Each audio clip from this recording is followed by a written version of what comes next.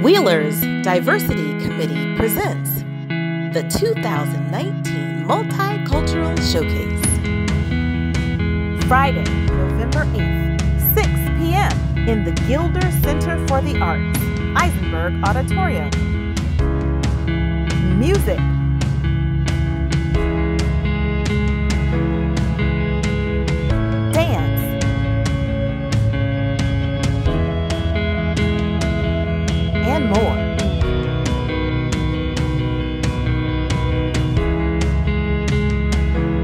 Don't miss it.